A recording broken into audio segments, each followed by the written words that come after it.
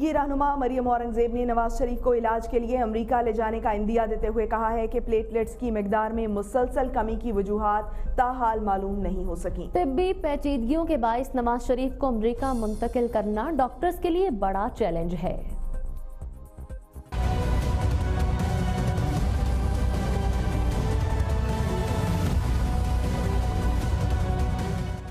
ترجمان مسلم لیگ نون مریم اورنگزیب کا کہنا ہے کہ ڈاکٹرز نے نواز شریف کے امریکہ میں علاج کی تجویز دی ہے۔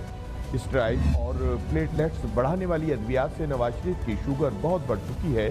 اس کے علاوہ نواز شریف کے دماغ کو خون پہنچانے والی شریان اٹھاسی فیصد بند ہے۔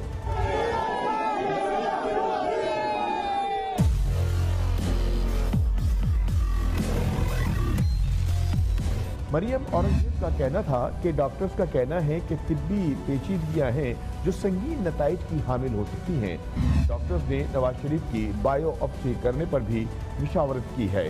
نواز شریف کو علاج کے لیے امریکہ منتقل کرنا ڈاکٹرز کے لیے بڑا چیلنج ہے، کیونکہ پلیٹلیٹس کی مقدار میں مسلسل کمی کی وجوہات۔